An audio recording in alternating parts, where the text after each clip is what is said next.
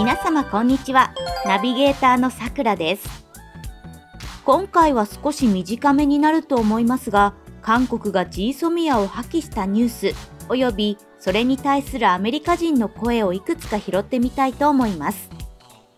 それではしばらくの間よろしくお願いいたします。早速ニュースに入ります。韓国が8月22日に軍事情報包括保護協定 G ソミアの破棄を発表しましたが、あれから1週間以上経った今でも、まだその余波が強く残っているように思います。日本の報道でも未だに特集を組まれたりしていますので、沈静化するにはしばらく時間がかかりそうな雰囲気です。先の動画でも述べましたが、破棄の過程がかなり怪しく、期限切れの2日前だったこと、また直前まで破棄の予兆がなかったことから有力な予想としては側近のスキャンダル学士のために G ソミア破棄が使われたのではないかとのこと。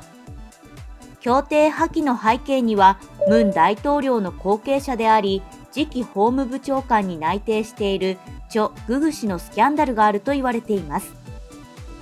チョ・ググ氏のスキャンダルとはパククネ政権が弾劾に追い込まれたのと同じ、そう、娘の不正入学です。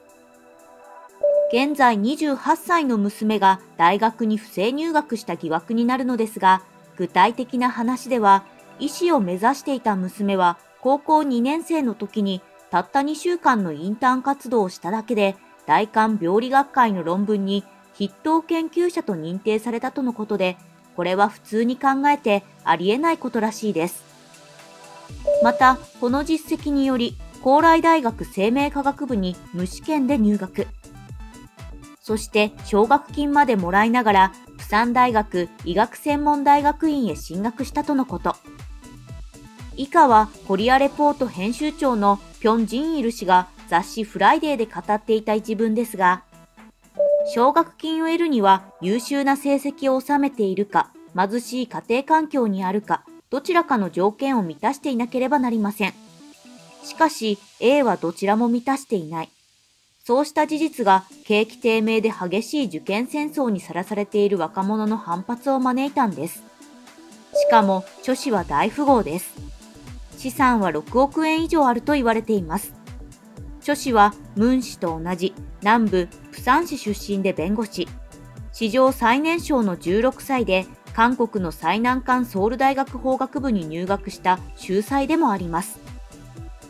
文中の A は、チョ・ググ氏の娘のことですが、これは聞けば聞くほどまともに弾劾案件だと思います。歴史は繰り返されるとのことわざもありますが、韓国にとってはまさに繰り返さなければおかしい案件であり、だからこそムン大統領はこの一件でかなり追い詰められたのではないかと思います。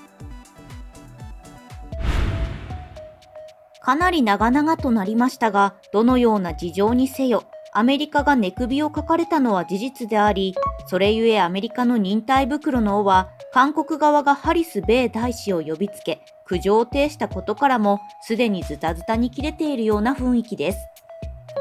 また韓国は G ソミア破棄を発表する際、事前にアメリカと協議した上、アメリカの了承も取り付けたと公式発表したのですが、アメリカは完全否定し、もう韓国の嘘は国際的にも定番になりつつあるようです。嘘をつくことでしか生き残る術がない時代の産物なのかもしれませんが、今の情報化時代、そのような作戦が通用するはずもありません。先日は G7 でトランプ米大統領がムン・ジェイン氏を信用できないと批判し、キム・ジョンウンがムンは嘘つきだと言っていたと会談内容を暴露したニュースが流れていました。この背景として有力だと思われるものは南北会談の時にムン大統領がキム委員長に対しできもしない大きなことをぶち上げて約束しキム氏にぬか喜びさせてしまったことが大きいとされていますそれ以降キム氏は韓国をターゲットにしたミサイル発射を続けながら早く約束のものをよこせと脅しているとのこと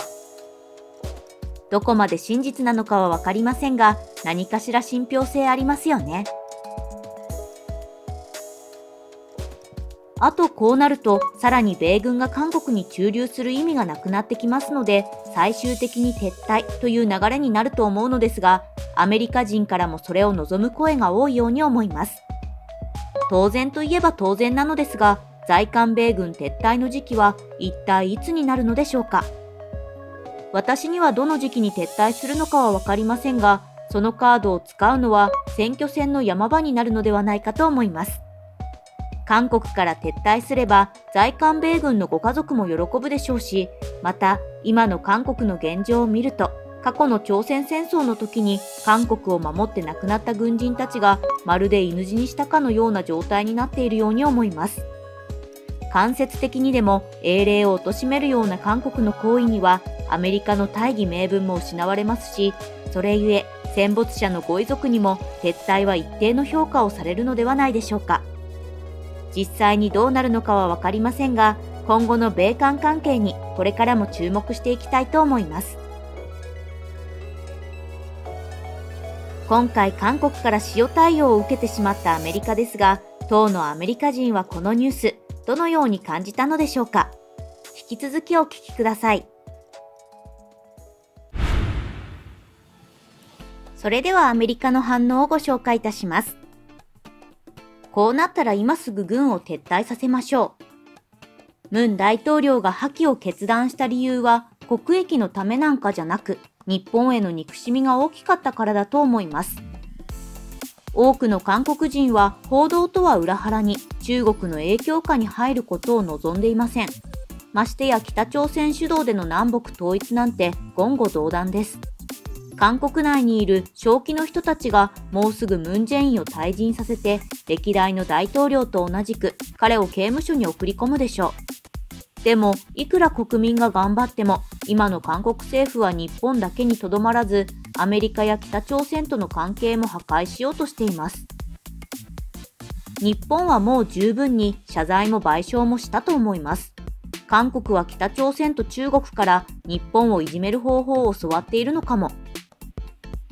もし日韓が戦争になれば、どちらも同盟国とはいえ、俺は日本の味方につくでしょう。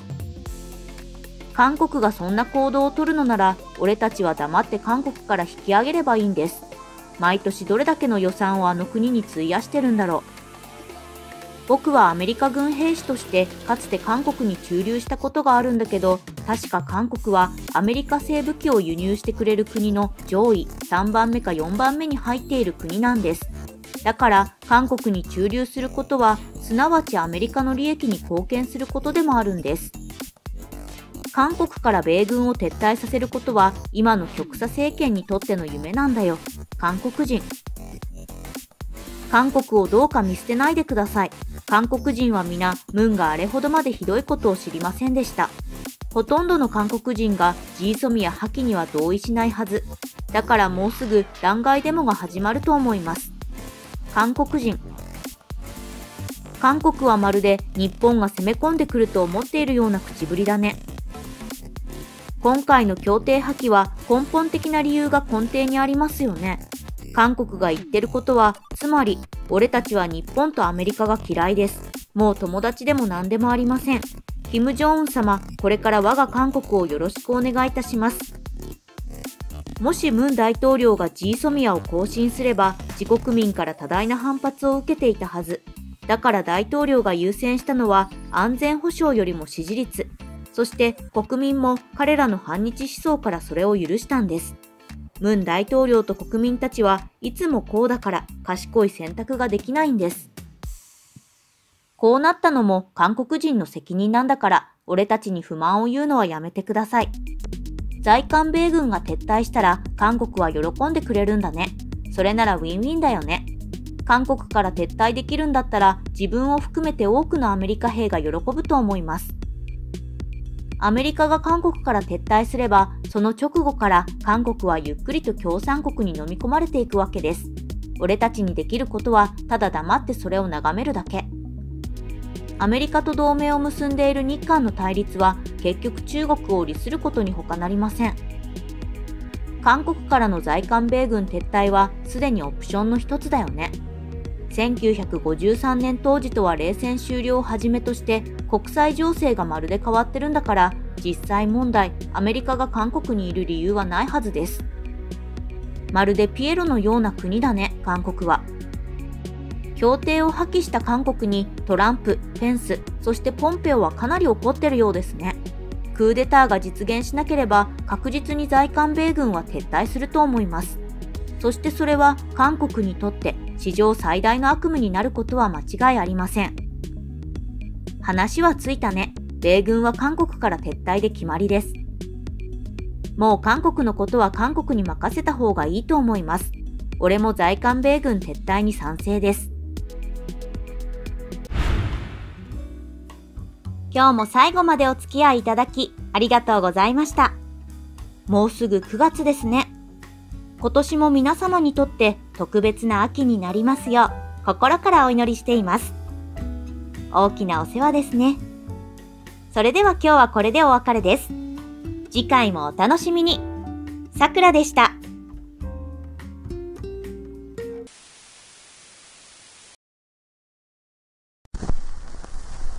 よろしければチャンネル登録をお願いいたします。